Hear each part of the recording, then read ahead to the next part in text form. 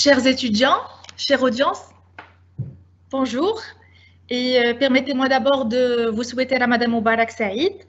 Euh, J'espère qu'il nous sera euh, porteur de sérénité, de foi et que avec ce confinement que nous vivons actuellement, nous prendrons le temps de nous ressourcer pour revenir à l'essentiel et devenir plus sages, plus forts et aussi plus heureux.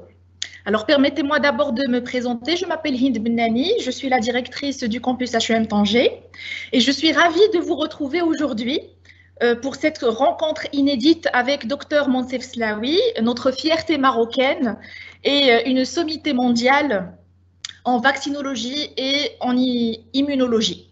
Alors, c'est un grand chercheur qui actuellement travaille d'arrache-pied avec son équipe de chercheurs pour euh, justement mettre en place un vaccin contre le Covid-19 et nous sommes très très fiers qu'un Marocain soit associé à cette opération qui, euh, qui pourrait sauver le monde entre parenthèses. Euh, merci beaucoup, Monsieur Monsef Slawi, d'avoir accepté l'invitation d'HEM. Alors, euh, je dois vous dire que euh, notre rencontre d'aujourd'hui s'inscrit dans la continuité de, des actions en développement personnel que HEM programme pour ses étudiants qui rentrent dans le programme de leur cursus euh, grande école. Et euh, justement, c'est un trait d'union, on l'appelle trait d'union parce que ça permet aux étudiants de se rapprocher davantage de leur environnement, de, découvrir un petit peu ce qui se passe en dehors de la classe, euh, rencontrer des success stories, découvrir des success stories et justement pouvoir s'en inspirer pour plus tard. C'est vous l'avez compris, c'est une activité qui euh, normalement était dédiée exclusivement à nos étudiants, mais vu euh, le grand succès qu'elle a rencontré auprès de notre communauté d'HEM, nous avons décidé de l'ouvrir et de permettre l'accès à tous. Comme ça, euh, toutes les personnes intéressées auront la possibilité de nous suivre en direct. Et sans plus tarder, je vais passer la parole à ma collègue Siham Chala, responsable développement personnel euh, d'HEM Tanger, qui prendra en charge la, modération de cette, euh, de cette rencontre. Et bien entendu, c'est elle qui va transmettre toutes vos questions à notre cher invité. Donc, n'hésitez pas à poser toutes les questions que vous avez euh, au niveau du chat et nous, allons nous, faire le plaisir de, les transmettre à la fin de l'intervention de M. Slawi. Et voilà, donc sans plus tarder, je vous souhaite une excellente conférence et je passe la parole à ma collègue Siham Chala.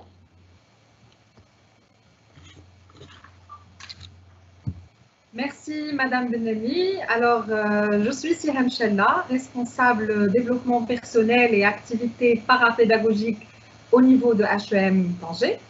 Et justement, à HEM, nous croyons en la force des mots et des histoires qui nous éclairent et nous élèvent de manière sublime et infime. Hier, libre d'aller et de venir, de franchir des portes et de circuler ici et là, à l'extérieur, dans le monde, nous voilà dans nos maisons logeant en nous-mêmes. Dans les moments où la solitude, l'angoisse, les peurs, les doutes nous assaillent, nous n'avons d'autre moyen de résister que de rester ouverts, ouverts à soi, ouverts aux autres, ouverts au monde, ouverts à la vie. Et à HEM, l'ouverture en est une vraie culture. Ainsi, et avec beaucoup d'ouverture, que je vous remercie, professeur Monsef Slawi, d'avoir accepté notre invitation pour rencontrer nos chers étudiants et lauréats, notre corps enseignant et administratif, groupe HEM. Je rappelle que vous êtes une sommité mondiale dans le domaine des vaccins. Vous étiez jusqu'à une date récente le directeur du développement et de la recherche au niveau du géant pharmaceutique GSK. Actuellement, vous êtes membre des conseils d'administration de neuf sociétés en biotechnologie, dont Moderna Therapeutics, la société américaine qui pourrait bien vers la fin de l'année, mettre sur le marché le premier vaccin contre le Covid-19. Alors, je vais me permettre de vous appeler Monsef suite à votre demande, quoique ça va être un petit peu difficile pour moi, mais je me plierai volontiers à votre demande. Et là, je souhaite revenir sur le destin fabuleux de cet enfant prodigue. Alors, vos débuts furent au Maroc. Si nous pouvons commencer par les origines, mais avant de vous céder la parole, je vous rappelle que nous sommes en direct via Teams Live. Ceci dit, pour toutes les questions, cher public, je vous invite à les noter dans la rubrique questions-réponses qui s'affiche sur votre écran. Et je serai ravie de les transmettre à notre convive de marque à la fin de la rencontre. Alors, Monsef, comme on dit en anglais, we are all ears. La parole est à vous. Merci, merci beaucoup euh, Siham, merci Madame Nali, merci HEM pour l'invitation. Et bonjour à tous et à toutes. Euh, Ramadan Barak euh, ça a commencé ici, je crois, un jour avant, donc, euh, mais je pense au Maroc, vous êtes toujours un, donc bon courage et bonne chance. Donc c'est un grand plaisir d'être d'être avec vous et de, et de discuter, comme, comme j'ai expliqué à Siham. et merci de m'appeler Monsef parce que ça, ça me dérange quand, quand on ne se met pas tous au même niveau, donc on est tous au même niveau. Euh, mais donc, euh, ce que j'ai pensé faire, c'est euh, passer du temps à, répondre aux questions que Siam va me poser et, me posera. Et puis surtout, beaucoup de temps à, adresser vos questions, parce que un des principes que j'ai toujours eu, c'est beaucoup plus important de parler à tout le monde sur les sujets qui les intéressent plutôt que de, de leur parler des sujets qui, qui, me sont chers éventuellement. Cela dit, je suis effectivement né au Maroc il y a pratiquement 61 ans. Euh, je dirais pas que ça, semble comme si c'était hier, mais j'ai absolument pas l'impression d'avoir 61 ans. J'ai grandi dans une famille de quatre enfants. Je suis le deuxième enfant. Euh, j'ai une sœur plus âgée et deux frères. Euh, mes parents euh, étaient moyennement éduqués, je dirais, donc, euh, ont été au lycée, mais pas à l'université, euh, mon père et ma mère. Mon père était un homme d'affaires avec une, entreprise impliquée dans l'irrigation. Et euh, ma mère était à la maison et nous a éduqués, ce qui était un, très gros job. Euh, ils étaient absolument focalisés sur notre éducation, sur les études. Et je pense qu'ils ont bien réussi, étant donné que leurs quatre enfants sont des docteurs. Ma sœur est, est professeur à l'Université de Casablanca en littérature française et psycholinguistique. Euh, et mes deux frères sont, médecins. Malheureusement, euh, un de mes deux frères, Amin Slaoui, est décédé d'un cancer du pancréas il y a 14 ans, euh, très jeune. Et euh, un des messages importants qui a défini, je pense, beaucoup de, ce que j'ai fait dans ma vie, est lié à ce que mon père me disait tout le temps, enfin il nous disait à nous tous, il disait euh, ce qui en fait en français veut dire euh, c'est pas important de dire qui est votre père ou d'où vous venez, mais c'est beaucoup plus important de savoir qui vous êtes et en fait qui vous êtes, ce ne sont pas les paroles, ce sont vos actions. Et je pense que ça a vraiment défini énormément de choses euh, dans, ce que j'ai fait. J'ai étudié au Maroc jusqu'à l'âge de 17 ans. J'ai eu mon, baccalauréat euh, à ce moment-là. Et euh, c'était en 1976. Et j'avais franchement hâte de partir à l'étranger étudier, faire des études de médecine parce que j'étais fasciné par la biologie humaine, comme je l'ai étudié pendant mes études à l'université. Ma mère est tombée malade pendant cette période du baccalauréat. Et c'était la première année où les universités françaises avaient, euh, demandé ou établi une, une, nécessité de faire une préinscription avant, avant l'inscription. J'ai raté cet événement euh, à cause de la maladie de ma mère. Et donc, euh, quand j'ai eu mon baccalauréat, j'habitais à 500 mètres du consulat de Belgique. Je me suis dit, tiens, il parle français en Belgique. Je vais aller passer ma première année en Belgique. Euh, à la fac de médecine à Bruxelles et puis j'irai en France comme, ça aurait été normal. Bon, j'ai fini par passer 27 ans en Belgique, donc ça s'est pas passé exactement comme j'avais prévu, mais j'étais en Belgique pour faire mes études universitaires. Euh, quand j'étais pour m'inscrire en, médecine, ça c'est pour vous dire combien le hasard euh, crée les opportunités, euh, les inscriptions en médecine étaient saturées. Donc on m'a dit, ah mais faites une première année de biologie et puis, et puis après vous pourrez passer en médecine ce que j'ai fait, mais bon, je ne suis, suis pas passé en médecine après, je ne suis pas retourné en France après. Je suis resté en Belgique et une des raisons principales, franchement, c'est que pendant toute ma jeunesse, ayant grandi dans un environnement un peu, pas très, mais quand même un peu privilégié, j'étais toujours choqué par les, les, différences sociales qui existaient au Maroc. En général, et mon père avait été euh, militant pendant le, le, protectorat français.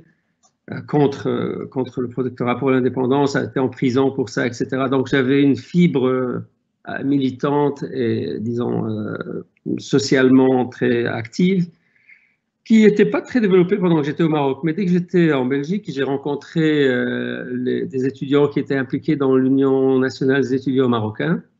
Et à partir de ma deuxième année en Belgique, je suis devenu extrêmement impliqué dans, du militantisme très actif, euh, au point où pendant, euh, je dirais, les deux dernières années de, de mes études de licence, ça occupait probablement la majorité de mon temps. Ça m'a énormément formé au niveau de, des aspects sur lesquels je reviendrai plus tard d'intelligence émotionnelle euh, à contraster à l'intelligence intellectuelle. Euh, je ne sais pas comment on dit en français, mais EQ versus IQ euh, en anglais. Le QI versus le QE, peut-être on dit le quotient émotionnel, de, au niveau des interactions, de la communication, etc. quand, quand j'ai terminé ma licence, j'ai eu l'opportunité de rencontrer un professeur qui a totalement marqué mon futur, qui s'appelait Jacques Urbain. Malheureusement, il est, décédé il y a quelques mois, qui était un immunologiste visionnaire extraordinaire et euh, qui m'a qui était un de mes profs pendant l'année de licence et j'ai fait ma, ma, licence, mes, travaux de laboratoire chez lui. Et donc, il m'a fait fasciner, qui a créé cette fascination que j'ai eue, que, je garde toujours avec le système immunitaire, que, que, que, que je traduis toujours en une phrase on a un système biologique qui a évolué au cours du temps, dont l'objectif principal, c'est de prévoir l'imprévisible, ce qui est extraordinaire, euh, parce qu'en fait, notre système immunitaire est capable de voir et de, détecter n'importe quelle structure, même si ce sont des structures artificielles qui n'ont jamais existé dans, dans, dans le monde de la vie. C'est pour ça que j'ai parlé d'évolution, parce qu'en général, on pense que tout ce qu'on a développé d'un point de vue biologique dans notre corps, on l'a développé par sélection, par les activités qui ont existé, euh, qu'on a expérimentées en tant qu'espèce vivante depuis des centaines de millions d'années. Euh, et le système immunitaire, si on crée une molécule dans un laboratoire qui n'a jamais existé auparavant, est capable de la, connaître. Donc j'étais fasciné par ça. Et comment est-ce qu'on a pu créer un système pareil? Et comment est-ce qu'on a pu le, maîtriser? Et, et, donc c'était très très très important de, l'étudier. Ce que j'ai fait, j'ai fait ma thèse là-dessus. Euh, et puis avec ma, petite amie à cette époque-là, je ne sais plus comment on appelait ça, mais bon, on était très sérieux, on habitait déjà ensemble. On a été faire un, un, post-doctorat euh, aux États-Unis, à Harvard Medical School, euh, pour, étudier encore plus le système immunitaire. Et ma petite amie, qui est devenue par la suite mon épouse, travaillait sur un virus bovin qui s'appelle bovine leukemia virus, qui s'est avéré être ça c'était en 1983, 84, 85, il s'est avéré être en fait un très très proche virus du virus HIV ou VIH euh, qui a été découvert en 1983 comme étant la cause du sida. Et, euh, en fait, euh, cette nouvelle, au hasard, en fait, le hasard qu'elle travaille sur un virus bovin dont personne ne voyait vraiment l'utilité, a fait qu'elle a, qu'elle a été, euh, au, bout de deux années de aux États-Unis faire notre postdoc, elle a été recrutée dans une boîte pharmaceutique qui avait son centre mondial pour les vaccins basé en Belgique, qui s'appelait euh, SmithKline Rite, euh, qui aujourd'hui est la plus grande boîte de vaccins du monde au travers de SmithKline Rite. SmithKline s'appelle maintenant GlaxoSmithKline. Euh, a été recruté pour faire un vaccin, pour diriger une équipe de, recherche pour un vaccin contre le sida. À l'époque, j'ai trouvé que c'était absolument euh, débile de rejoindre l'industrie, qu'il fallait rester dans le monde académique. Et donc, je suis retourné en Belgique avec elle et, je suis devenu prof euh, dans la faculté de médecine. Mais pendant trois ans, entre 1985 et 1988, euh, je me suis rapproché de, cette compagnie, euh, Smith et j'ai pu voir la science qui était, qui était euh, utilisée pour, euh, pour découvrir des vaccins, en, particulier pour le vaccin HIV. Je suis devenu consultant pour eux. Et, quelque part, au bout de ces trois années-là, j'ai compris finalement que donc j'étais passionné par l'immunologie, mais j'étais aussi passionné au travers des années de militantisme et, de la culture dans laquelle j'ai grandi, d'avoir un impact sur le monde, sur les gens. Et en fait, le vaccin permet de faire les deux. Découvrir un vaccin permet de faire de la science de pointe et en même temps d'impacter la vie de, centaines de milliers de gens. Je suis désolé, ça, ça me rend toujours très émotionnel. Et donc, j'ai rejoint cette compagnie en 1988 pour diriger euh, des recherches sur un vaccin contre la malaria, qui était pour moi très important parce que c'est évidemment une maladie des, pays du tiers-monde, qui sont souvent très négligés, mais aussi un vaccin contre les maladies de l'herpès et, d'autres maladies par la suite. Bon, je m'arrête là parce que c'est à ce moment-là que j'ai rejoint l'industrie qu'une nouvelle carrière a commencé, mais, euh, mais donc par une, par une succession de, je dirais, de passion pour, euh, pour avoir de l'impact positif sur la société d'une part et pour la science d'immunologie d'autre part. Ça, c'est des choses que moi, je, conduisais, disons, et par une succession de hasards. Aller en Belgique, avoir une amie qui travaillait sur le bovine leukemia virus, euh, qu'elle soit recrutée et que juste au moment où HIV est ressorti et que ça m'ait mis en contact avec une boîte de vaccins, sont des événements de hasard sur lesquels j'ai agi, évidemment. mais donc, tout ce qui a suivi est une, est une conséquence de, ces deux choses-là, des choses que moi j'ai déterminées, des choses que le hasard a, créées. Je m'arrête là.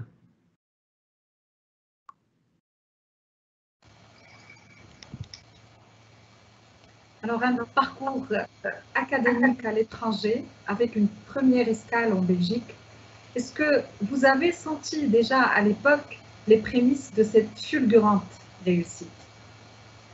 Pas du tout. En fait, franchement, je n'ai jamais planifié ma carrière. Euh, j'ai eu la chance et l'opportunité de faire ce que j'adorais, ce que j'adore. Je l'ai fait sans limite. Euh, aucune. Euh, tout en m'amusant, franchement, je, suis pas, je suis, quelqu'un qui travaille très fort.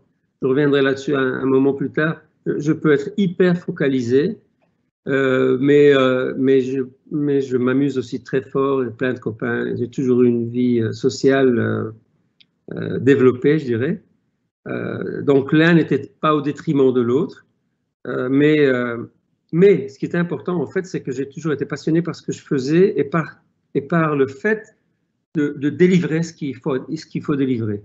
Pas, pas passer toute ma vie à, parler, euh, pas, mais, mais, donc d'être focalisé sur euh, trouver une solution au problème qu'on a devant soi et exécuter pour, euh, pour, pour tester cette solution. Et ben, elle marche ou elle marche pas.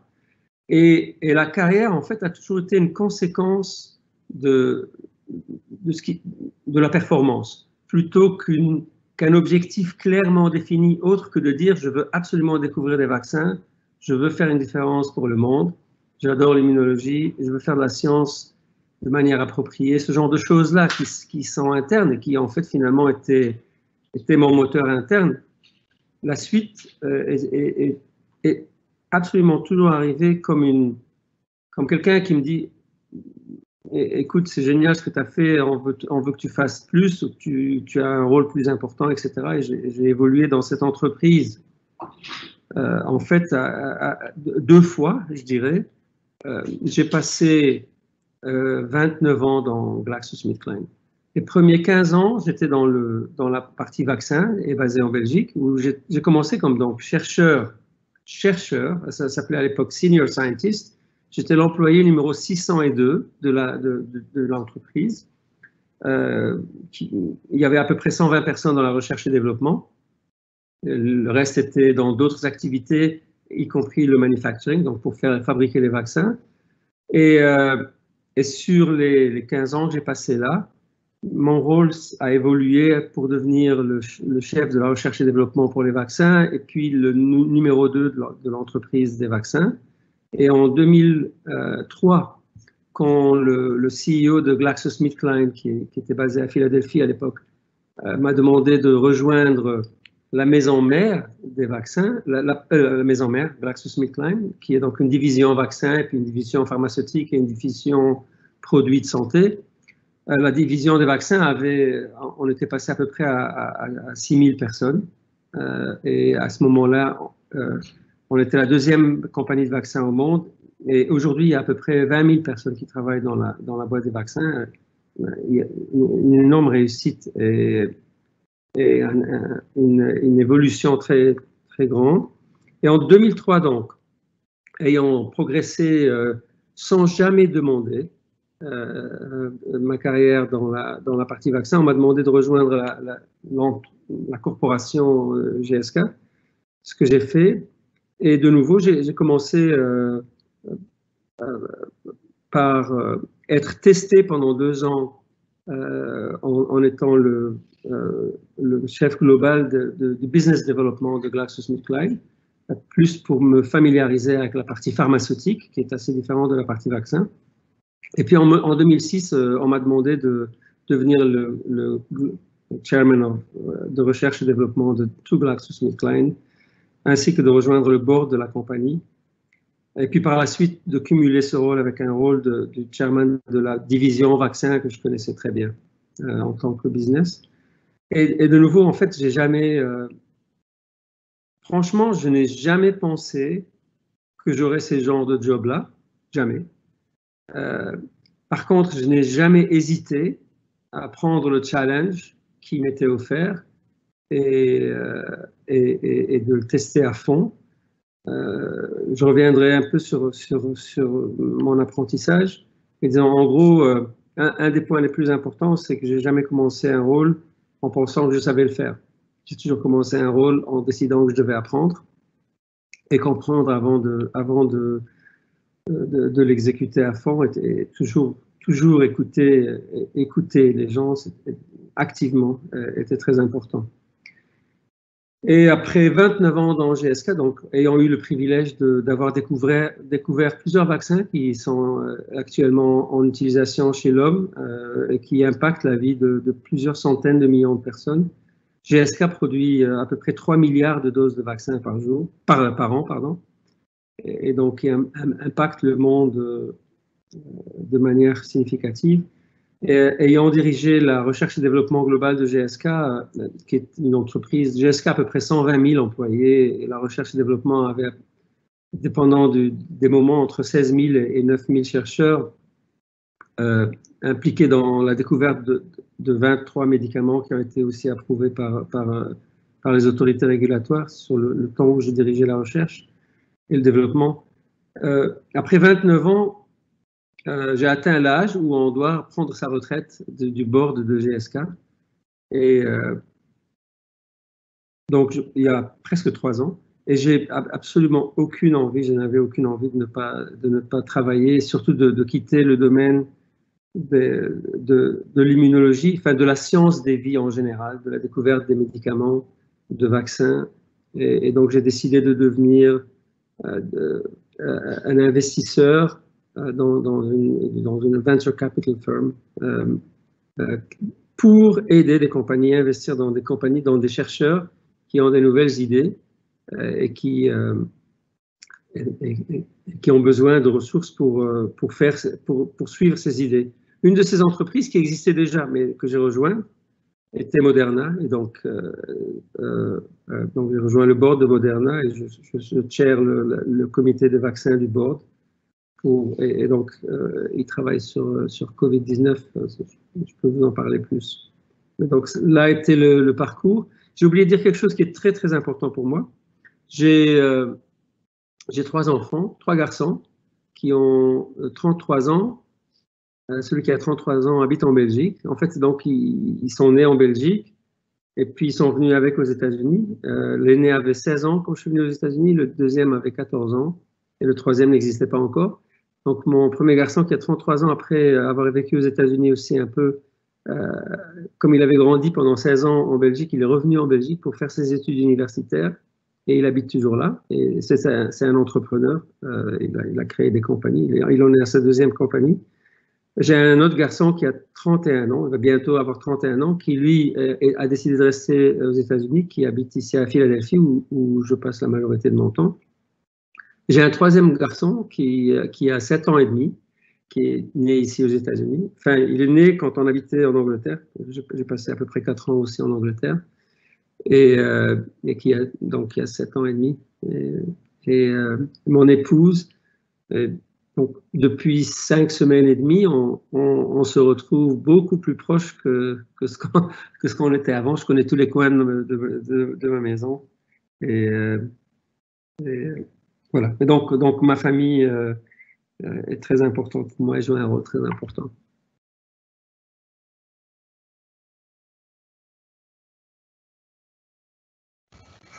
Alors, euh, je reviendrai justement euh, à cette passion pour l'immunologie et pour la vaccinologie. justement, d'où est-ce que vous puisez cette passion? Ben, En fait, c'est le, professeur Jacques Urbain, qui était professeur à la, faculté de, biologie de, l'Université libre de Bruxelles, qui était franchement un, scientifique visionnaire, un scientifique comme on en fait de moins en moins, qui avait une grande vision euh, et, euh, et, qui a créé, qui a, disons, qui a focalisé ma passion pour la biologie. Je suis toujours fasciné par la complexité de, la biologie, de, la vie en général et dans l'être humain en particulier. C'est extraordinaire quand, on, réalise la, minutie et l'énorme complexité qu'on a. Et puis de trouver là-dedans, dans toute cette complexité, un système qui, en plus de tout ça, un peu comme notre système nerveux aussi d'ailleurs, euh, est capable de, prévoir l'imprévisible de s'adapter à n'importe quoi. Donc ça, cette dimension-là que Jacques Urbain a, a, développé, disons, a, révélé, euh, m'a passionné. Et donc, j'avais une très, très, très forte interaction avec lui tout le temps même, même une fois que j'ai quitté l'université, etc. Donc, définitivement, euh, lui. Et, je dirais l'autre, c'est la, découverte de, que, les vaccins, d'abord, dans, dans, une, dans une seringue avec un petit peu de liquide dedans, il y a 10, 15, 20 ans, et le travail de, de, de milliers de chercheurs qui est condensé dans, dans, ce petit volume pour faire un vaccin qui va être euh, safe donc, euh, pour, pour les gens, parce qu'on vaccine les personnes quand elles ne sont pas malades, et qui va les aider à se protéger contre les maladies pendant le reste de leur vie ou pendant un temps important. Et malheureusement, on se trouve aujourd'hui dans un, dans un moment où on réalise qu'est-ce que ça veut dire les vaccins. On réalise qu'est-ce que ça veut dire les vaccins. Imaginez qu'il n'y ait pas les vaccins qui existent déjà. Le monde serait toujours comme il l'est aujourd'hui à cause du Covid. Effectivement. On aurait la polio, on, aurait la diphtérie, le tétanos, le pertussis, euh, le, rotavirus. on, aurait des maladies infectieuses à tire-larigot, comme on les avait, euh, disons même dans les années 1800 où l'espérance de vie n'était que, que, de 40 ans. Aujourd'hui, l'espérance de vie est, au-delà de 80 ans, et c'est principalement grâce aux vaccins. Principalement, c'est l'eau potable et les vaccins. donc l'impact, l'impact sur le monde est, est, énorme, et on le vit aujourd'hui. Si on n'avait pas les vaccins qui existent, on serait en confinement tout le temps, et franchement, la société ne se serait jamais développée comme elle est aujourd'hui. Donc, c'est de là que vient ma passion, et je l'ai encore à 100%. Il y, a, peu d'activités qui peuvent avoir autant d'impact sur l'humanité. Et, d'avoir l'opportunité de, participer à ça, je trouvais, et, je trouve, était, une, une, chance extraordinaire que j'ai saisie euh, à 1000%.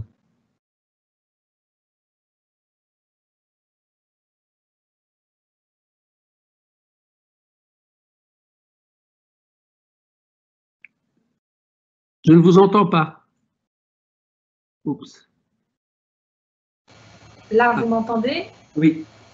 Alors, je disais, avant de passer justement euh, à cette crise sanitaire euh, inédite, je rappelle que pour toutes vos questions, cher public, il y a une rubrique questions-réponses dans laquelle vous pouvez insérer toutes vos questions que je vais par la suite transmettre à professeur Slawi à la fin de la rencontre. Restez en direct avec nous.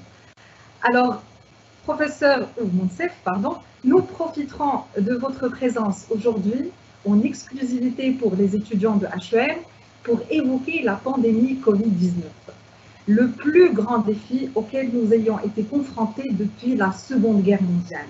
Mais le Covid-19 est bien plus qu'une crise sanitaire.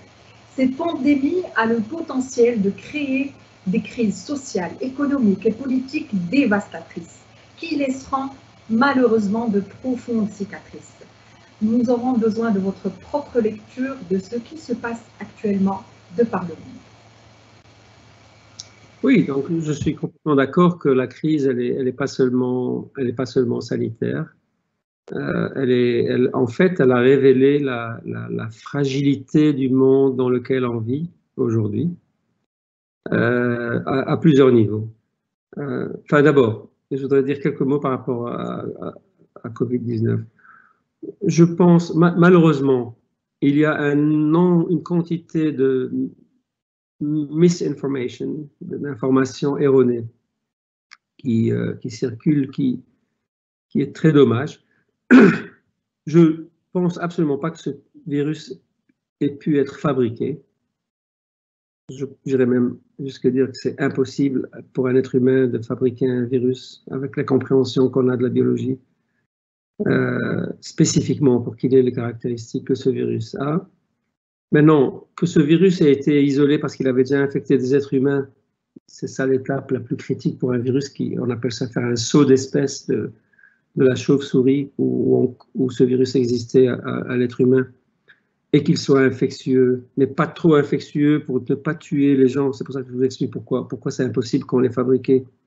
Pour qu'un virus soit un, soit un succès d'un point de vue du virus, il faut qu'il infecte un maximum de gens, mais qu'il ne les, les, tue pas tous rapidement, parce que s'il les tue, il arrête de se transmettre.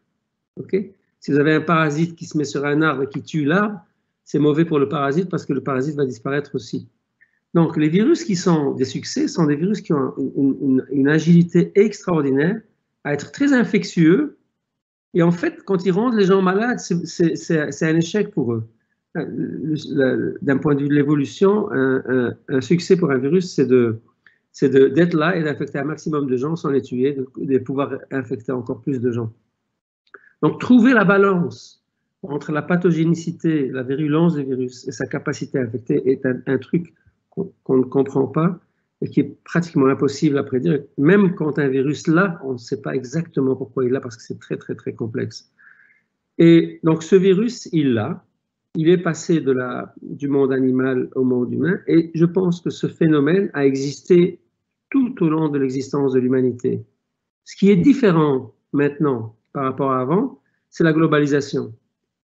En fait, il y a eu des études maintenant en regardant, simplement traçant les téléphones des gens. Le nombre de personnes par jour qui passent d'un pays à l'autre, d'un continent à l'autre, se compte en centaines de milliers et donc d'une ville à l'autre, probablement dans un pays en, millions, si on prend un grand pays comme les États-Unis ou, la Chine, par exemple, ou on regarde l'Europe en général, ou l'Afrique, hein, si on prend des surfaces grandes. Et donc la capacité à ce que c'est un virus comme Covid-19 passe d'un continent à l'autre, d'un pays à l'autre, a été accélérée de manière extraordinaire par le mode de vie et la structure sociale qui existent à cause ou grâce à la globalisation, tout comme tout un niveau de développement euh, économique et social et un niveau de rupture économique et sociale, c'est aussi développé grâce à la, globalisation. Je pense que le monde a compris que des pandémies vont arriver. Ce qui est dommage, c'est que beaucoup de scientifiques, parmi lesquels moi-même, avait compris que ces pandémies pouvaient arriver depuis longtemps. Euh, et en fait, en 2016, la compagnie où je travaillais, GlaxoSmithKline, et moi-même avons proposé au monde politique de l'OMS, l'OMS, WHO, au, gouvernement européen, au gouvernement américain de créer des, compagnies qu'on a appelées Biopreparedness Organization, qui, feraient des vaccins contre des virus hypothétiques, mais surtout qui seraient déjà entraînés à faire un vaccin instantanément dès qu'un virus sort. Et euh, alors que les pays investissent des sommes énormes euh, dans le fait d'avoir des armées pour prévenir le risque éventuel d'une invasion, on n'a pas compris qu'on devrait aussi créer une sorte d'armée différente, qui est des armées scientifiques, technologiques, euh, qui devraient être là pour nous aider à contrecarrer des agresseurs différents, qui sont, donc les pathogènes. J'espère qu'on prendra la leçon cette fois-ci. Mais Covid-19 va absolument euh, marquer, je pense, la société, le monde. Euh, les disparités économiques sont exacerbées. Même dans un pays comme les États-Unis, j'imagine dans un pays comme le Maroc, l'impact est énorme. 50% des gens aux États-Unis ont un travail payé à l'heure, dans un des pays les plus développés du monde. Et ils gagnent entre 8 dollars et 13 dollars de l'heure, et ils ont zéro euh, savings, euh, épargne, zéro. Et 26 millions de personnes dans les sept dernières semaines ont perdu leur job aux États-Unis, et probablement bien plus. Et euh, en fait, il y a des files de milliers de personnes qui font la file pour recevoir la bouffe gratuite, la nourriture gratuite, parce qu'ils n'ont plus rien à manger. J'imagine que ce genre de, drame est en train d'exister partout et encore plus euh, dans les pays euh, en voie de développement. c'est dramatique au niveau individuel, c'est dramatique au niveau social, et j'espère que ça va poser plus de questions par rapport à plus d'équité sociale et, euh, par rapport aux personnes les plus démunies ou les pays les, plus démunis. Mais il y, aura aussi, à mon avis, des, effets positifs d'une certaine manière, dans le sens où euh, euh, de nouvelles industries et de nouvelles manières d'interagir vont exister, qui existaient déjà, mais vont être accélérées certainement, le, par exemple, le commerce digital va, encore se développer énormément plus vite que ce qu'il a été. Les communications, comme on est en, train de les avoir, vont, augmenter de manière extraordinaire et probablement mettre moins de pression sur la balance entre la vie euh, familiale et la vie professionnelle. Euh, beaucoup, beaucoup d'entreprises maintenant sont en train de comprendre que une grande partie de leur euh, workforce ne doit pas nécessairement euh, venir au bureau tous les jours et peut travailler à partir de la maison et être très productive. Donc il y a beaucoup de choses qui vont, changer et moi j'ai confiance en la créativité humaine. Euh, je, pense qu'il y aura beaucoup d'industries et, d'entrepreneurship, d'entrepreneurs qui vont saisir de nouvelles occasions, de nouvelles idées. Et après des moments difficiles, liées à, la crise, comme je l'ai décrite maintenant, je, pense qu'on aura, euh, la société va, va, se développer et euh, on va trouver des vaccins et on aura. Euh, et on va pouvoir contrôler ce virus et, et continuer à se développer.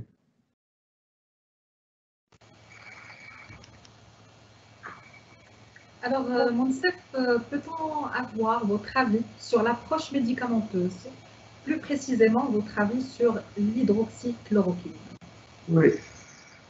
Alors, je sais que c'est controversé, euh, mais moi, j'ai toujours, au cours de ma carrière, appris que c'est pas parce qu'on pense que quelque chose fait quelque chose que c'est vrai.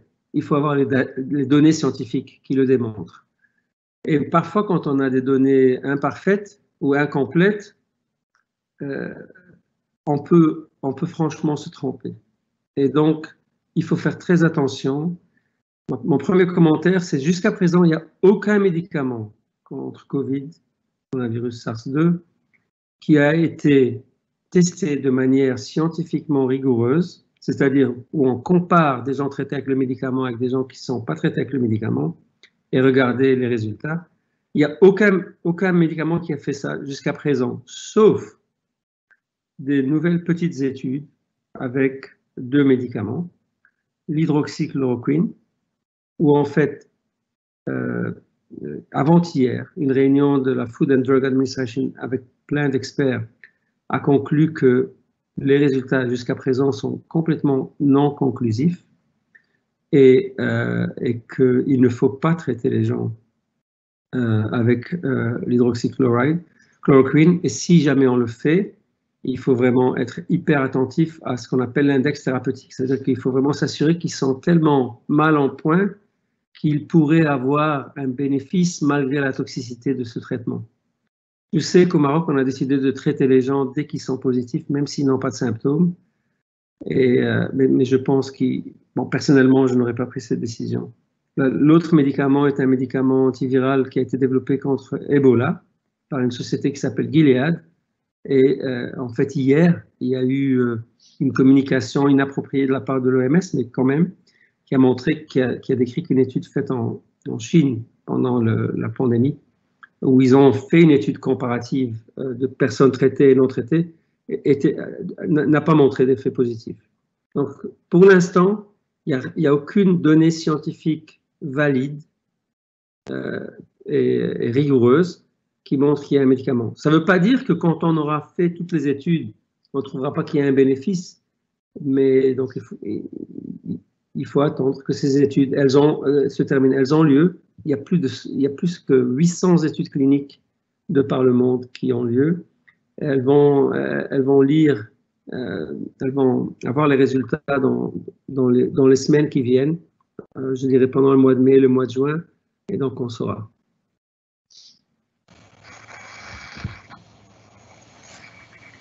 Alors, je vais revenir avec vous à cette question de vaccin, justement. Qu'en est-il du protocole de mise au point du vaccin et est-ce que c'est la seule façon de diminuer la morbidité et la mortalité de ce virus? Oui, alors la manière de diminuer la mortalité et la, morbidité du virus, c'est d'être immun contre le virus. Et il y a deux manières d'être immun contre le virus. L'une, c'est d'être infecté par le virus et survivre. Euh, et l'autre, c'est d'être vacciné. Alors, en fait, il y, a, encore des données qui sont littéralement apparues hier qui confirment que, en gros, une personne sur mille infectée par le virus meurt. Et ce sont surtout des personnes âgées avec des maladies chroniques sous-jacentes. Euh, si on fait le calcul, il y a 8 milliards de personnes. Si on laisse ce virus circuler dans les 8 milliards de personnes, il y aura plus ou moins 8 millions de morts. C'est énorme. Donc, gagner de l'immunité contre ce virus en le laissant nous infecter de manière incontrôlée euh, pour créer ce qu'on appelle herd immunity. Ou, franchement, je suis désolé, je ne sais pas comment on dit en français. L'immunité au niveau de la population. Euh, on peut le faire, mais ça vient avec un coût énorme de mortalité. C'est pour ça que tous les gouvernements ont fait ces politiques de, distanciation pour éviter qu'on ait des énormes pics de mortalité, mais, plutôt de, faire qu'on s'infecte petit à petit.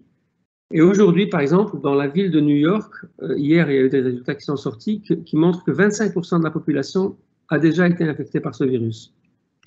À peu près 2% de la population est tombée malade et à peu près 0,2% euh, sont morts. 1 pour 1000.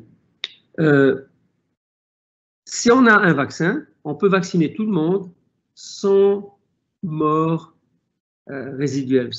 On, peut éviter plusieurs millions de morts et accomplir le même résultat. Donc pour moi, le vaccin est la seule solution. Il y a des solutions intermédiaires. Si on a un médicament qui marche réellement, on peut éviter ce que des gens meurent, mais ils, seront malades, ils iront à l'hôpital, les hôpitaux seront submergés, etc. Donc le vaccin est vraiment la solution euh, unique. Il y a énormément d'activités de recherche et développement autour des vaccins. En fait, l'OMS a, maintenant euh, compté 130 projets de vaccins de par le monde. Je ne pense pas qu'il y aura 130 vaccins. Je pense en fait qu'il y a une dispersion d'efforts, mais il y aura certainement 5, 6, 7 vaccins différents qui vont, euh, qui vont arriver. On comprend quelle est la cible sur le virus qu'il faut cibler euh, et, nous immuniser contre. Ça, c'est très, très important. Et Là maintenant, on sait que certains de ces vaccins, parmi lesquels celui où je suis impliqué, sont capables de protéger les animaux contre une infection par le virus du Covid-19. Donc ça, c'est très important comme première étape. Euh, et on est en train de faire des études cliniques. Donc euh, le vaccin que Moderna développe était le premier, mais euh, je ne sais pas si vous avez probablement vu hier, il y a une nouvelle étude clinique qui a commencé en Angleterre avec un vaccin. Il y avait une deuxième étude qui a commencé aux États-Unis avec un deuxième vaccin. Donc il y a déjà trois vaccins qui sont en études cliniques. Je suis convaincu, euh, mais je ne peux pas vous dire tous les détails, étant donné que Moderna est une société publique et donc euh, il y a toutes des règles qui, euh, font qu'on ne peut pas parler d'informations confidentielles. Mais je suis convaincu et confortable qu'il y aura, que les vaccins vont marcher et qu'il y aura des vaccins.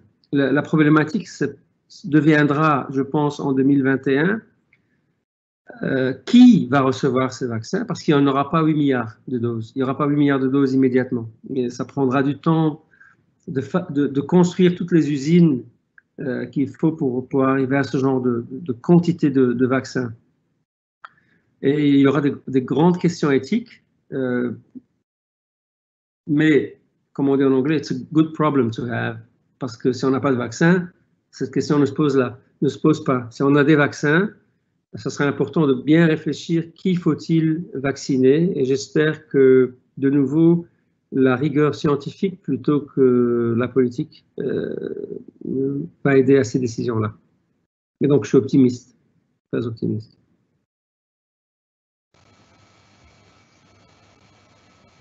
Alors justement, l'optimisme et de rigueur. Alors je vais évoquer avec vous, euh, Monsef, les questions éthiques relatives au vaccin. Comment vont-elles être gérées? Ben, J'espère qu'elles seront gérées euh, principalement par, euh, par la rigueur scientifique, ce qui veut dire ceci. D'abord, si on regarde, les personnes les plus à risque sont deux populations. Les personnes âgées avec des maladies chroniques sous-jacentes, et quand je dis âgées, c'est au-dessus de 70-75 ans. Et deuxièmement, c'est euh, euh, ce qu'on appelle les first responders, les personnes qui sont en première ligne euh, en contact avec le virus, c'est-à-dire les médecins, tout, enfin, tout, le personnel hospitalier, infirmiers, etc., etc. Ce sont les sapeurs-pompiers, les ambulanciers, la police, dans, dans, le sens protecteur du terme, et puis après, il y a d'autres populations qui sont hyper importantes pour que la société continue à exister. Les transporteurs, les camionneurs, les personnes qui sont dans les supermarchés ou dans les magasins, qui font qu'on arrive à avoir euh, de la nourriture tous les jours. Donc, il y a une logique dans la société de, soit de risque ou bien de, criticalité à la, au tissu social qu'on pourrait utiliser pour vacciner. Ça, c'est la première chose. La, deuxième chose, je dirais, il faut regarder où se trouve l'épidémie au moment où le vaccin devient, devient, disponible. Il se peut parfaitement, par exemple, si je prends même au sein d'un même pays, si je prends New York, à mon avis, en, en janvier 2021, la majorité des gens à New York auront déjà expérimenté ce, virus, ou plus ou moins. Alors que, j'invente, au milieu des États-Unis, en l'Oklahoma, euh, l'épidémie fait rage, est en, train de monter. Donc il faut aller vacciner là où l'épidémie est en train de monter, pas là où elle est en plateau ou bien en train de descendre, en tout cas en priorité. Le même raisonnement est vrai pour des pays, donc il faudra regarder grâce à l'OMS par exemple, quels pays sont les plus à risque là maintenant au moment où on a le vaccin pour aller vacciner dans ces pays-là les gens à risque et les gens qui sont en première ligne. Donc ça, je dirais, c'est le raisonnement logique, non politique. La réalité, c'est bon, j'étais impliqué dans la, dans le, la pandémie H1N1 euh, swine flu en 1988-89, qui, qui, avait fait très peur, mais qui avait, en fin de parcours, tué moins de gens que ce qu'on craignait. Et après, les politiciens n'étaient pas contents. Mais pourquoi on a dit que c'était une pandémie? Parce que c'était une pandémie. Euh, ben, en fait, on avait, on avait par exemple une société en Allemagne qui fabriquait le, le vaccin et le gouvernement allemand, a dit, bon, moi je veux 60 millions de doses, et si vous ne me donnez pas 60 millions de doses, j'envoie l'armée pour prendre contrôle de, de l'entreprise. Donc, la politique et les aspects euh, nationaux, disons, vont certainement se superimposer. À... Mon point de vue personnel, c'est que les valeurs éthiques sont la seule chose qui, qui, qui est, euh, qui, est qui persiste. Euh, euh, toutes les autres données, en fait, ont un rationnel à très court terme. Mais les choses qui ont un rationnel, qui ont, qui ont une vie, une pérennité de durée, ce sont les valeurs. Et les, valeurs éthiques et les valeurs morales. Et si on ne les respecte pas, on, tue la confiance euh, que la population peut avoir dans un gouvernement, dans, dans une société euh, ou dans une approche philosophique. Et, pour moi, ça, c'est irréversible. Donc, euh, malheureusement, aux États-Unis, pour l'instant, on a, un gouvernement qui, n'est pas vraiment aligné sur ces, valeurs-là. Donc, je ne sais pas comment ça, va, se passer. Mais je compte être très actif, comme je l'ai été auparavant, dans, la, dans le fait de, de parler de ça à voix très haute. Et bon, je suis très content qu'en fait, il y a plein de, gens qui, qui ont eu le, privilège d'avoir des fortunes énormes comme, comme Bill Gates et d'autres qui, qui, euh, qui sont euh, très fort focalisés là-dessus. Je sais pas, vous avez, j'étais vraiment content de voir hier qu'il y a la personne la plus riche d'Arabie Saoudite, je ne me rappelle plus de son nom, a donné toute sa fortune de 29 milliards de dollars euh, pour, pour des activités de charité euh, publique et globale. Ce qui, ce, qui, ce qui est bien parce que ce sont, ce sont bien sûr juste des petits points, mais ce sont des points qui réveillent dans la société le fait que qu'on doit penser aux autres et on ne doit pas simplement penser à soi-même. Et, et c'est en fin de parcours, c'est ça qui va être critique pour l'éthique de décision qui va, qui va recevoir les vaccins.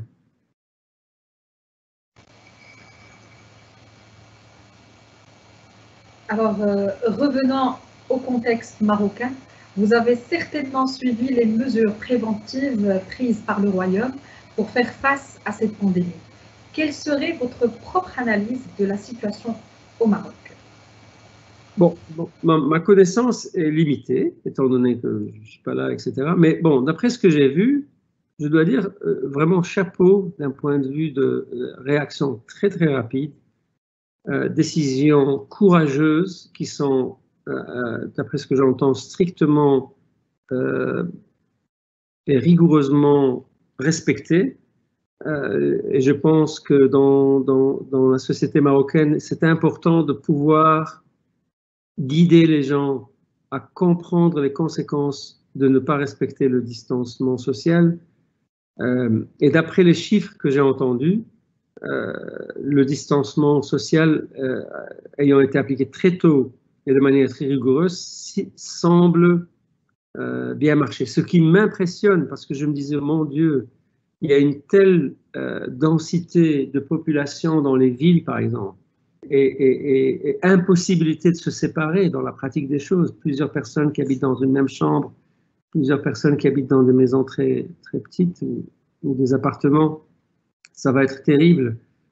Euh, apparemment, il y a un grand contrôle. Ce qui m'a surpris quand, j'avais fait l'interview avec 2M, c'est que la personne responsable au Maroc dans le, ministère de la Santé, je crois que c'était le, docteur Lioubi, euh, a parlé du nombre de tests qui étaient effectués par jour, qui était 170 ou 180. C'est un tout petit, un tout petit nombre.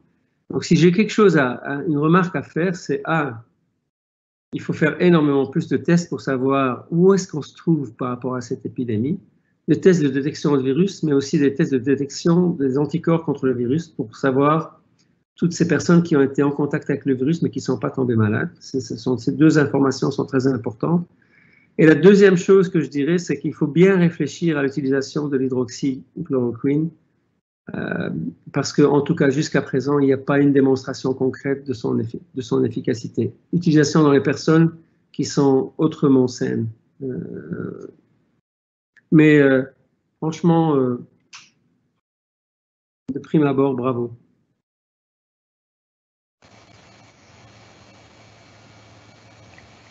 À présent, nous allons changer de registre pour parler de ce potentiel marocain. ayant émergé suite à cette crise inédite. Vous êtes un des chercheurs émérités aguerris dans le monde dont nous en sommes particulièrement fiers. En préparant cette rencontre, j'ai constaté à quel point vous êtes un advocateur de la méritocratie et de la détermination. Et vos collègues sont presque unanimes à dire que vous mettez du cœur en ce que vous faites. Quel serait votre message, your legacy, pour nos jeunes étudiants d'HEM aujourd'hui?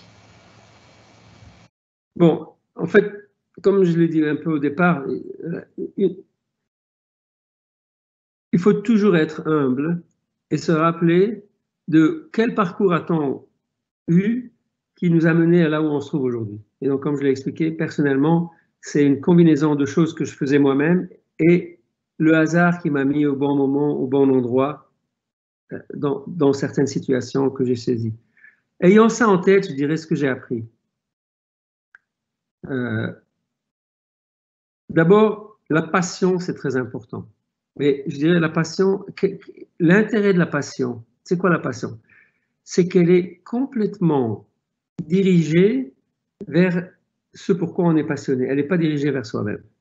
Sauf si on est un mégalomane, hein, on est passionné par rapport à soi-même, mais c'est pas ça que je parle. En fait, c'est très important de savoir est-ce qu'il y a quelque chose qui me passionne? Parce que l'énergie requise pour réussir, je pense, et euh, elle, doit être maintenue à très long terme. C'est la, deuxième chose, c'est que parfois je m'inquiète que la société actuelle est fondée sur euh, euh, des, récompenses rapides, alors que dans la réalité des choses, une réussite réelle n'est jamais quelque chose qui se passe rapidement. C'est quelque chose qui se passe longuement au cours du temps avec un effort qui est consistant, qui, est qui, reste logique avec lui-même, qui n'est pas contradictoire, qui est basé sur des vraies valeurs, parce que c'est ça le, point des vraies valeurs, c'est que moi je disais toujours à mes enfants, il faut pas mentir. Ils me disaient, mais pourquoi est-ce que je ne dois pas mentir? Je disais, voilà le problème, quand on ment, on doit se rappeler ce qu'on a dit. Et si on n'a pas une bonne mémoire, tout le monde va savoir qu'on a menti. Alors que quand on ment pas, on se rappelle toujours de ce qu'on a fait. Parce qu'en fait, et même si on ne se rappelle pas, si on a une boussole interne qui, est, qui, est, qui, qui ne dévie pas, ben on sait exactement toujours où est le nord. Et donc, on n'a pas besoin d'inventer ou de réinventer. Et, et my, learning de, dans ma vie de, ensuite devenir le leader de, plusieurs milliers ou dizaines de milliers de personnes, c'est de, constater qu'au-delà, bien sûr, de l'intellect qu'on apprend, etc., ce sont ces valeurs-là qui font toute la différence. C'est l'authenticité, c'est la transparence, c'est le courage. Et le courage, ça veut dire quoi? C'est de pouvoir dire, c'est de dire ce qu'on pense plutôt que de dire ce qu'on pense que les gens voudraient qu'on dise. Ce qui est très, très, très différent. Et donc, je dirais, et, tout ça existe grâce à une énergie qui reste là parce qu'on est passionné par quelque chose. Et euh, moi, j'ai jamais dit à, à, mes enfants, je veux que vous soyez X ou Y ou Z. J'ai toujours dit, qu'est-ce que tu aimes faire? Et si j'ai un conseil à vous donner, c'est euh, essayez vraiment de réfléchir. Et, dans mon cas, ça m'est arrivé une fois que j'ai été exposé réellement, grâce à Jacques Urbain, en fin de parcours. Donc, j'avais probablement 23 ans ou 22 ans à ce moment-là. C'est à ce moment-là que mon plus grand aha est arrivé. Ah, c'est l'immunologie. Bon, j'adorais la biologie humaine, mais j'aurais pu partir dans n'importe dans, n'importe quelle direction, j'aurais pu être un médecin, mais j'ai trouvé quelque part, à un certain moment, quelque chose où j'ai vraiment accroché. Il faut rester, il faut être attentif à ce qui vous passionne. Il ne faut pas s'attendre à réussir très vite. Je trouve qu'il faut pas, il faut pas, euh, euh, il faut mériter ce qu'on ce qu'on a. Il faut pas le demander. Mais il faut vraiment, il faut que ce soit dans la tête parce que ça, ça vous donne aussi plein d'énergie. Et je pense qu'il faut, enfin, il faut rester humble. Il faut rester humble. Il y a énormément de différentes formes de réussite. Euh, franchement, j'aurais été tout aussi euh, heureux, à mon avis, à faire autre chose si cette autre chose m'était euh, était passionné. Donc, il faut être réaliste. Tout le monde ne peut pas découvrir des choses extraordinaires. Ce qui est important, c'est de découvrir ce que vous aimez, d'être authentique et réel par rapport à ça, et d'avoir la persistance de continuer votre effort euh, jusqu'à ce que vous y arriviez.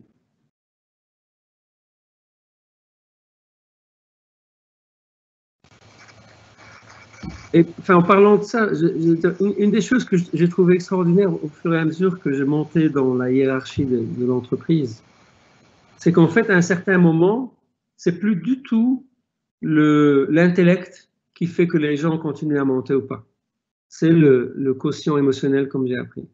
Parce que dans la pratique des choses, en tout cas quand on travaille avec, avec les gens, moi je me rappelle, je disais aux gens, ben, il, y a, là, il y a 15 000 chercheurs, vous, avez, vous, avez, vous connaissez 100 000 fois plus de choses que moi.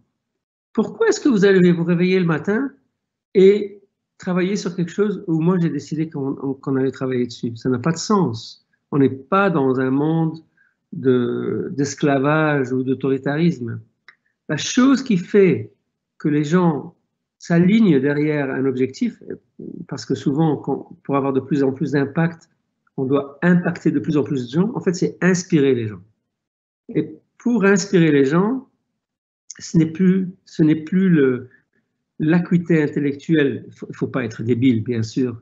Non, mais je dis, au-delà de l'acuité intellectuelle, c'est cette capacité d'inspirer, cette capacité de créer la confiance, parce que les gens sentent que le vrai vous, c'est ça qui leur parle. C'est pas, pas une, hein, c'est pas une acting, je sais pas comment on dit, c'est pas de la, comédie. C'est pas ah tiens pour parler aux gens je dois parler comme ça. Et ça demande franchement énormément d'énergie et de courage de, quelque part se, se déshabiller ou montrer sa fragilité. Donc, je parle maintenant euh, euh, intellectuellement, émotionnellement. Mais c'est ça la clé. Ça demande bien sûr énormément de force interne de pouvoir le faire, mais ça vous donne. Mais, pour ça, il faut être authentique.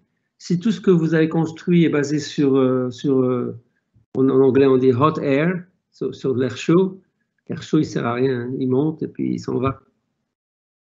Donc il faut, il faut du concret. Et, voilà.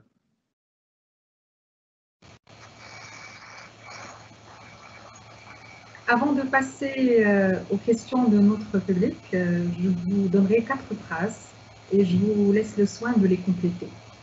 Alors, première phrase, le leadership pour moi, c'est? Donc, authenticité, humilité, courage, écouter, euh,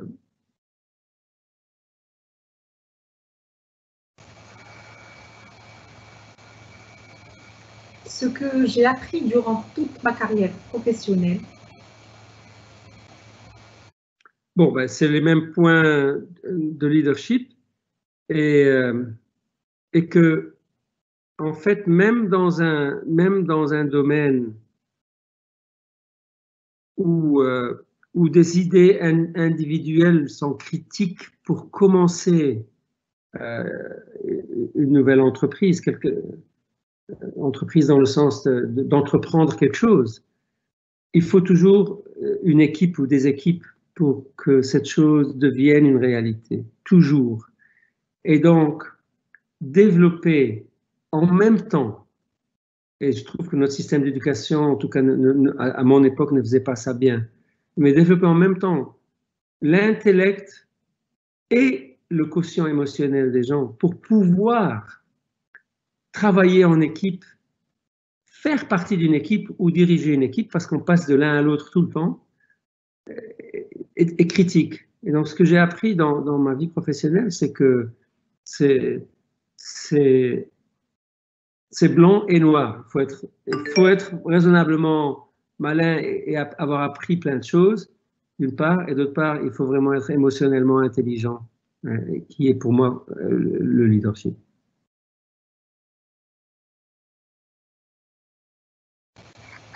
Mon prochain plus grand défi, c'est? Je dirais c'est continuer à trouver des moyens de donner. Euh, je pense que j'étais extraordinairement euh, chanceux. En fait, il y, a, un mot en anglais qui je trouve meilleur que chanceux. Fortunate. Je ne sais pas comment on dit en, français. J'étais extraordinairement chanceux de pouvoir me trouver dans des situations ensuite j'ai saisi pour, pour accomplir ce que j'ai accompli. Et j'ai depuis, euh, depuis très longtemps, depuis probablement au moins 20 ans, je me suis focalisé sur le fait de, de donner en, retour. Soit littéralement parce que je, je sais très bien, il y, a, des personnes qui ont tellement impacté ma, ma, carrière et, c'est le fait de passer du temps avec les gens. C'est d'ailleurs pour ça que je, fais cette, discussion aujourd'hui. C'est de, pouvoir aider à allumer les étincelles chez les gens, parce qu'on a tous une étincelle. Et, donc ça, c'est, je dirais, d'un point de vue individuel, mais aussi de continuer à, aider à faire des vaccins ou des médicaments ou impacter l'éthique de la distribution des vaccins. tout, mon, tout mon focus est, là-dessus maintenant, euh, encore plus qu'il l'était avant. Et, mon, challenge, c'est de, continuer à trouver les manières de le faire. Euh.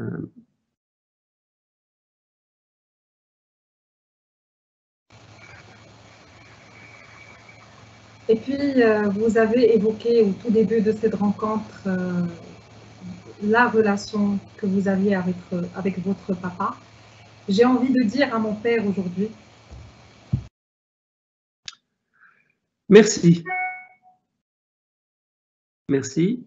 Malheureusement, il est mort il y a 33 ans. Merci.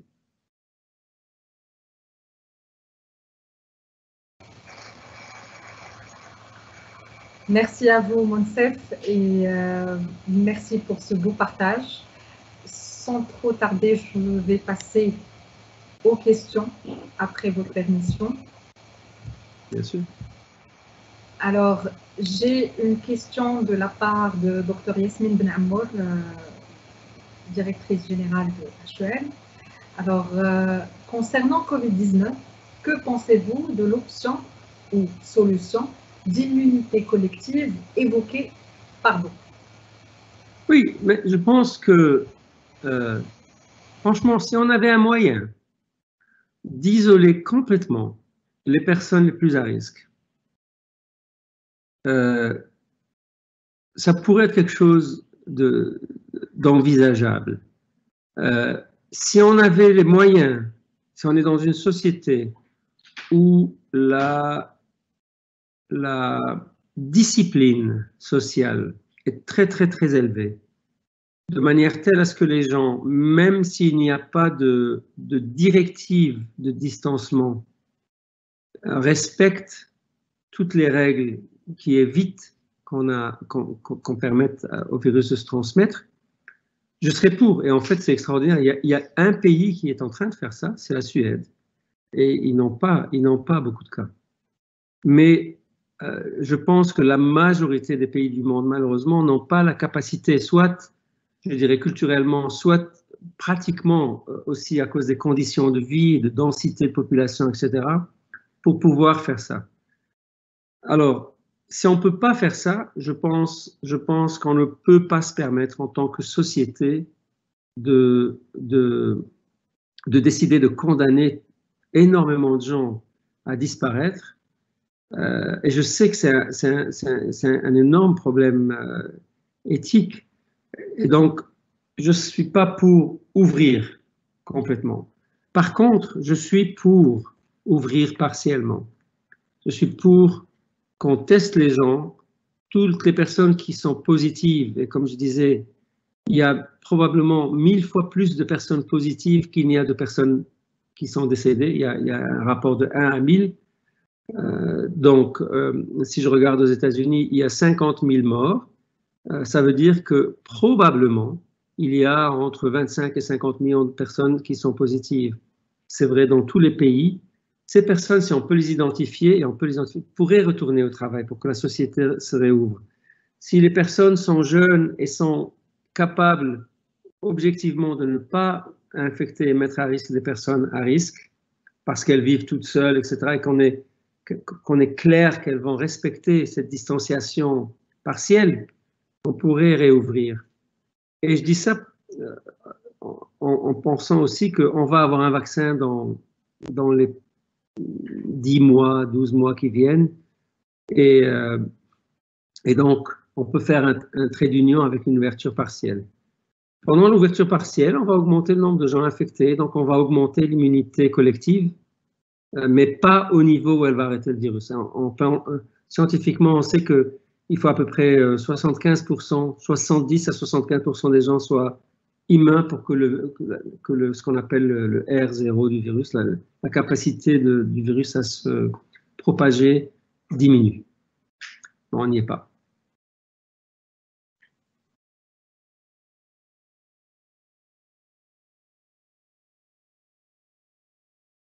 Alors, une autre question. Comment continuez-vous à gérer votre engagement à contribuer au bien-être des hommes et les impératifs économiques de l'industrie pharmaceutique qu'on qualifie de gourmande Question posée par Madame Hindley. Ah, il y a deux questions. La, première, c'est euh, la manière dont je continue à m'impliquer euh, elle est à deux niveaux. Un, premier niveau que j'ai fait un, personnel, juste en mon nom personnel, est de rejoindre le, les conseils d'administration, le board, de, plusieurs compagnies de biotechnologie que je pensais avaient des technologies prometteuses et, et, potentiellement importantes, et de rejoindre ces boards avec l'objectif principal de les aider à réussir. Et donc Moderna est une de ces, de ces entreprises. Et, euh, euh, et je suis très actif dans, dans, ces entreprises. Et bien sûr, elles vont réussir économiquement, mais je sais au fond de moi, ben, j'espère pour elles, en tout cas un certain nombre, euh, mais je sais que pour moi, ça n'a jamais, jamais été mon, mon moteur, euh, la réussite économique. Bon, j'ai la chance, franchement, d'avoir euh, énormément de confort euh, financier, mais ça n'a jamais été mon moteur, et ça l'est pas. Donc ça, c'est une première manière. Une deuxième manière est, de, donc, de participer à ce fonds d'investissement pour aider des entrepreneurs avec des idées intéressantes à créer leurs entreprises et à les, aider à réussir, donc encore plus en amont dans, dans le processus. Euh, les entreprises pharmaceutiques sont gourmandes. Et quand j'étais dedans, euh, j'ai énormément avec, euh, en fait, le, CEO et moi-même, j'étais le numéro 2 de Glaxo, donc GlaxoSmithKline, avions une politique que le reste des, boîtes pharmaceutiques n'aimait pas tellement. On a, on, a, on, a, on a, voulu arrêter, mettre un cap sur le prix des médicaments. On a toujours dit qu'il fallait donner les médicaments et les vaccins à des prix euh, pratiquement à coût dans les pays en voie de développement, les pays les moins riches euh, et, dans, et dans les couches sociales, même dans les pays plus, plus riches, euh, chez les personnes qui, qui, qui, sont les plus démunies, etc. Euh, et, et j'attends que, en fait, et ces, ces, phénomènes sont de plus en plus vrais dans la majorité des pays du monde, sauf par exemple, principalement, sauf aux États-Unis. 60 à 70 des profits des, boîtes pharmaceutiques se fait aux États-Unis. Les, inégalités sont inimaginables ici par rapport à plein d'autres pays. Donc, je continue à, à œuvrer dans, euh, dans cette voie-là. Mais bon, on vit dans un monde et une structure de société où le succès économique est impératif et c'est un, problème. Par exemple, si je prends euh, les boîtes pharmaceutiques, le, shareholder principal dans les boîtes pharmaceutiques, c'est les boîtes de pension. Et les boîtes de pension, c'est la pension de tout le monde. Euh, donc, euh, c'est un gros problème, je pense. Je pense qu'on doit rééquilibrer, on doit rééquilibrer, mais humblement, je pense que il faut, il faut faire son chemin, faire son impact, je dirais, dans, le monde qu'on peut impacter. Et puis le reste, il faut espérer que de plus en plus de gens impactent jusqu'à ce qu'on élise des, des, personnes qui ont plus de, plus de valeur. Malheureusement, ça a été, euh, en tout cas dans un pays comme les États-Unis, ça a été euh, dans le sens inverse dernièrement.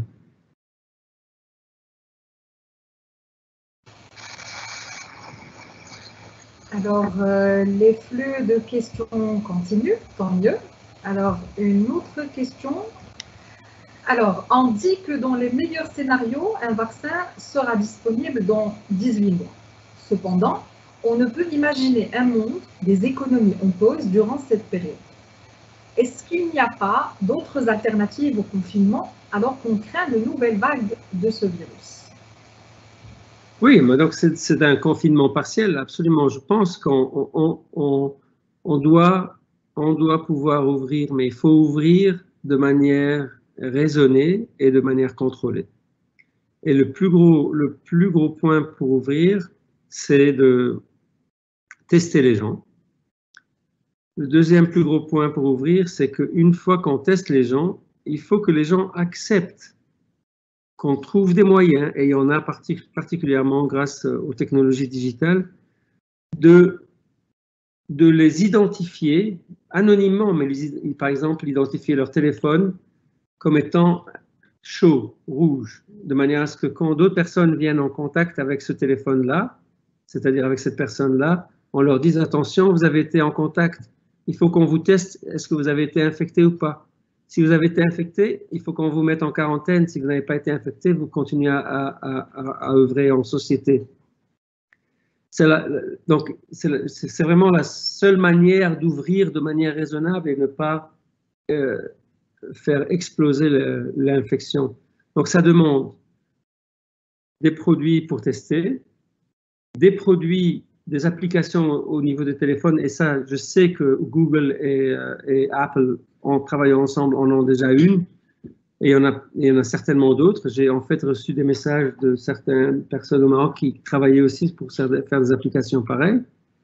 Et puis, mais surtout, il faut que tout le monde dans la société accepte cette forme d'ingérence individuelle, mais qui, dans ce cas, j'espère, ne sera faite que dans le bénéfice de la société, puisque ça permettra d'ouvrir un peu. La pire des choses qu'on puisse faire, c'est d'ouvrir de, manière inconsidérée et d'avoir un pic encore plus grand que le premier. Parce qu'alors, la conséquence de ça, au-delà des morts, etc., c'est que les gens ne, croiront plus dans le, le, système de santé publique, dans les décisions des politiciens, et ça va être le chaos total.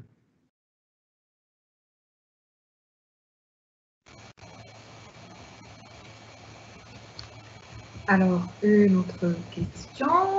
Euh, comment vous prévoyez le mode de vie après déconfinement? Et donc, combien de temps estimez-vous la reprise d'une vie dite normale? Comme on dit, euh, I wish I knew. bon, comment est-ce que la vie sera de l'autre côté du déconfinement? À mon avis, elle sera tout aussi chouette et bien et positive. Euh, qu'on peut la, faire, parce que pour moi, après le déconfinement, réellement, ce sera quand on aura des vaccins et qu'on aura des médicaments. Et donc, le danger euh, de mourir de, de, cette pandémie diminue. En tant que société, on vit tout le temps avec des, risques. Bien, la, grippe tue euh, probablement 200 000 personnes par an euh, dans le, de par le monde. On vivait parfaitement. Les voitures tuent, des dizaines ou centaines de milliers de personnes par an. On vit avec tous les jours. On vit avec les risques tous les jours.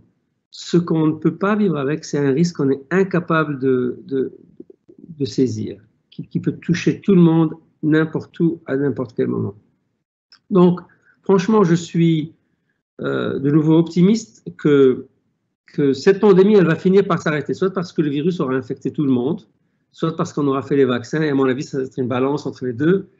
Un certain nombre de personnes est en train d'être infectées, puis les vaccins vont arriver, puis des traitements vont arriver. On va, on va contrôler ça. Et je pense que la nature humaine est telle que la vie reprendra et reprendra comme elle était avant, avec des changements qui sont les nouvelles opportunités pour des entrepreneurs, euh, euh, que ce soit des changements au niveau de la société, comme je disais, je pense que beaucoup plus de personnes vont travailler à partir de la maison, peut-être pas exclusivement à, partir de la maison, mais peut-être deux, trois jours par semaine. Je pense que l'équilibre familial va, en être énormément impacté. Je pense que beaucoup de commerce se fera par e-commerce et il y aura donc malheureusement du dommage au niveau des emplois, etc., puisqu'il y a plein de magasins physiques qui, n'existeront plus de la même manière. Ce ne sera pas blanc ou noir, mais bon, la, balance euh, va changer. J'espère que la vaccination sera mieux acceptée de par le monde parce qu'on prend, on aura une meilleure réalisation de, son impact. Je parle de la vaccination en général, de toutes les maladies qu'on peut éviter. J'espère que euh, aura plus d'investissements dans, l'industrie de la santé euh, de par les systèmes de santé publique pour, prévenir des nouvelles pandémies. Et puis aussi, j'espère franchement que, que l'exacerbation de l'inégalité sociale que la pandémie est en train de démontrer va va permettre des, changements politiques, euh, comment les gens votent, pour qui ils votent, et, qu'on puisse avoir des systèmes politiques qui sont plus balancés, vers une, plus grande équité. Donc je suis optimiste de l'autre côté.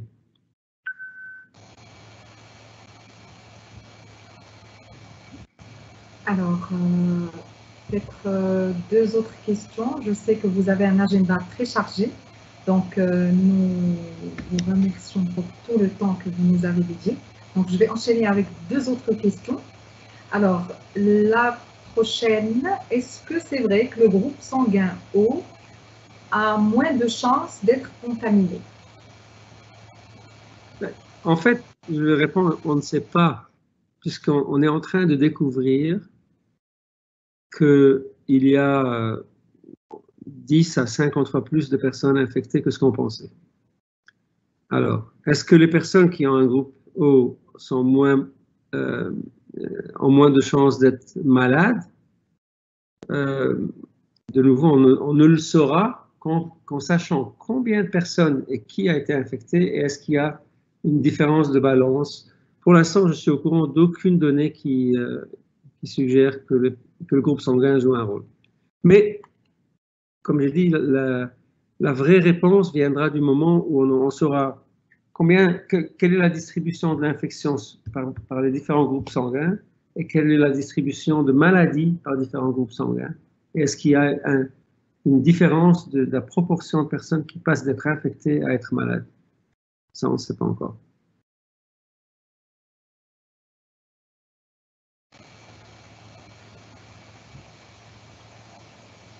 Alors, cette crise a révélé beaucoup de potentiel marocain à l'extérieur comme à l'intérieur du Maroc. Ne pensez-vous pas que c'est un moment opportun pour unir ces potentiels et booster l'économie marocaine tous azimuts? Bah, bah, La réponse est bien, bien sûr oui. Il faut qu'on, il faut qu'on, chaque fois qu'on a un momentum derrière euh, quelque chose qui regroupe du talent, il faut absolument euh, le continuer parce que la clé du succès social et économique, c'est le, talent, c'est les personnes. Euh, mais il faut faire attention que euh, dans beaucoup de domaines, le talent tout seul ne peut pas performer. Il y a tout un écosystème autour de ce talent qui, doit, qui doit être là pour performer. Et, je pense qu'un pays comme le Maroc doit vraiment réfléchir euh, profondément à quels sont les domaines où on a une masse critique des éléments de l'écosystème qu'il faut pour que des activités soient réellement effectives. Euh, je vais dire, par exemple, franchement, euh, si le Maroc voudrait compéter pour développer un médicament contre, euh, je sais pas, le diabète de type 2 ou un vaccin contre Covid-19, je ne pense pas que c'est une bonne idée. Parce que, parce que la compétition est, est, tellement plus avancée et il faut tellement de, de, d'activités différentes, c'est ça que j'appelle l'écosystème, pour que la découverte d'un vaccin marche, fonctionne, que, que les chances sont, sont nulles. Euh, par contre, euh, il y a certainement des activités euh, où notre talent au Maroc et en dehors du Maroc pourrait permettre au Maroc de, progresser très fort. Ça, c'est un, en étant, disons, spécifique. Et la deuxième, c'est que tous les Marocains qui ont une expérience euh, au niveau du développement du talent et, du leadership peuvent aider de manière qui n'est pas qui n'est pas spécifique à une industrie ou à une activité ou l'autre, mais qui est plutôt spécifique à développer le talent, le leadership euh, des personnes euh, euh, par du coaching, par du mentoring, par des activités comme celle-ci où absolument il faut, il faut le faire et en faire plus.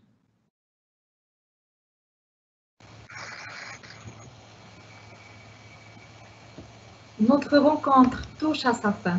Au nom de toute la HEM Family, je vous remercie du fond du cœur pour votre grande humilité, pour ce beau partage et aussi pour votre bienveillance. Que vous souhaitez alors de la joie, de la félicité et beaucoup d'accomplissement, Inch'Allah.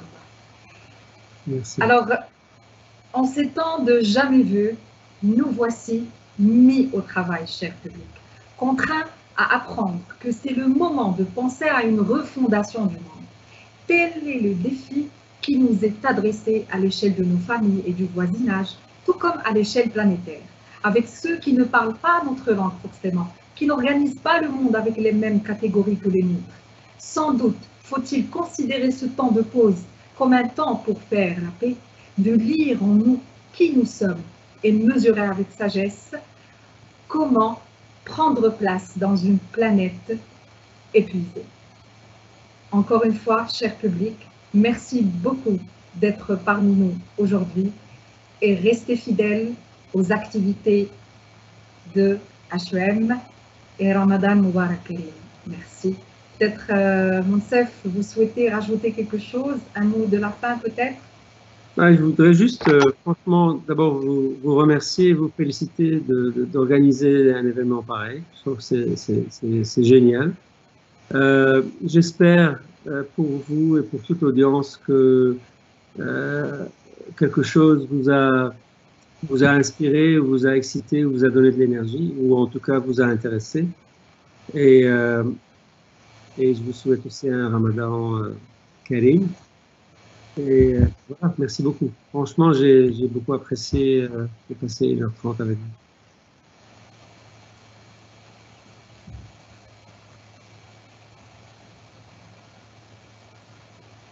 Merci encore une fois et à très vite. Merci encore et encore. Shukran. Shukran.